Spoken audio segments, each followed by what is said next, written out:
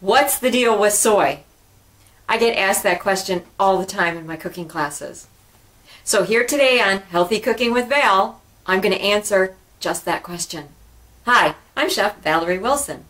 I have been teaching cooking classes for over 17 years, and just recently it seems to be everybody's confused about soy, and they're always asking me, what's the deal with soy? I heard it wasn't good for me. Well, see these products in front of me? These are all traditionally made soy products. They've been eaten for over 5,000 years. That's a long time. And I personally enjoy these soy products on a regular basis, and it's been over 20 years that I've been eating this way. Soybeans themselves are really high in protein, they're high in B vitamins, and they also have strong anti-cancer properties. They contain isoflavonoids.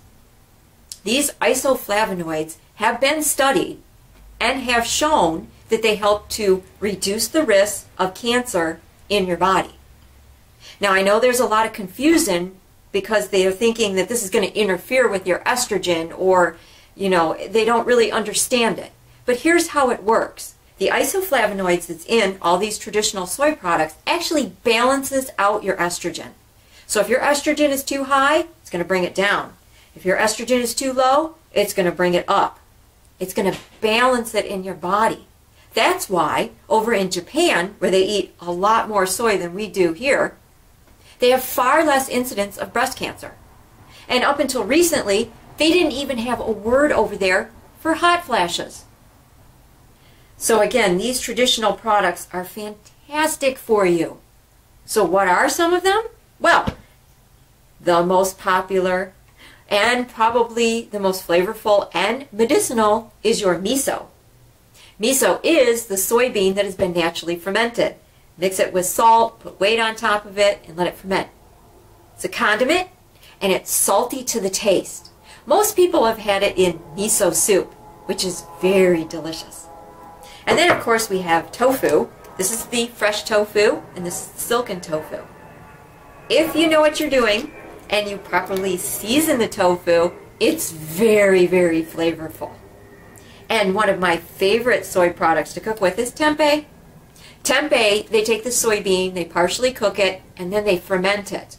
So it has more texture than the tofu. You can crumble it and saute it, and then it's like a meat substitute. I love using tempeh in my recipes. And, of course, one of the best condiments you can use is tamari.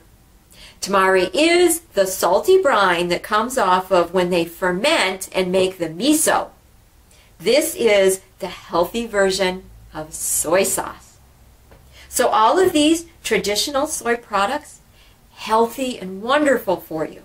I think where a lot of the confusion comes from is that the soybean has been refined and processed.